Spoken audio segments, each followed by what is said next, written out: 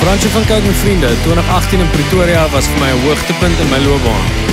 Die energie was tasbaar, my vriende fantasties en die oorweldigende ondersteuning en die liefde was massief.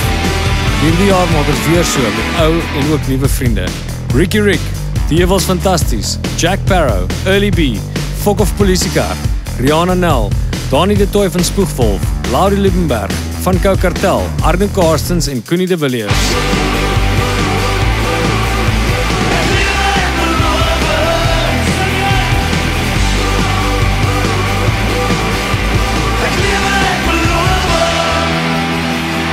twee ure lange show gaan gepak wees met ons bekendste tunes, asook 'n paar splinternuwe samewerkings. Moenie Fransje van kyk en vriende by Sun Arena Times Square in Pretoria op Vrydag 18 Oktober mis nie. Kry nou jou kaartjies by CompuTicket.